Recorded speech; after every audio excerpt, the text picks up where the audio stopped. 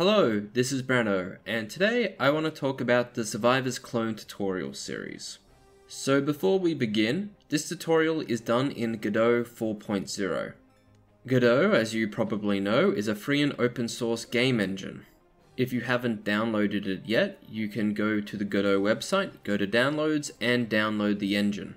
As of recording, the engine is still in beta, so if you are watching this earlier, you can download the latest beta build by clicking on Download Repository, going to 4.0, and downloading the latest beta build. So what's in the tutorial? This tutorial is heavily based off a game called Vampire Survivors, which is heavily based off a game called Magic Survivors, which is heavily based off a game called Crimson Lands, which is heavily, you get the point. It's a game where you go around killing enemies with automated attacks. You can collect experience, level up, and upgrade your character until you become an unstoppable killing machine. It's a very fun game which you can buy off Steam for $5, and it seems like everyone else is trying to make their own Survivors clone, so why not use this tutorial as a good starting point, either to make your own Survivors clone or to learn the Godot engine. In this tutorial, I'll teach you how to make a player character with three distinct attacks, 5 distinct upgrades, 5 different enemies, a main menu, a graphical user interface, a level up and upgrade system, all within a 5 minute gameplay loop.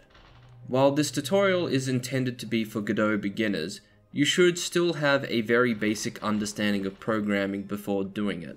If you understand what an if statement is, what a for loop is, and what a function is, then you qualify for this tutorial.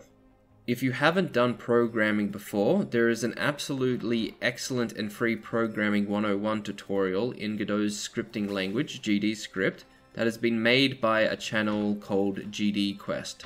Link in the description. The type of teaching method I'm going to be doing is to teach practical first, theory second. In school you probably experienced theory first and practical second, and if you've done game dev tutorials in the past, you probably know how difficult it is to understand practical and theory at the same time. I always found that I didn't really understand the theory until I did the practical work, and I feel like I'm not alone with that.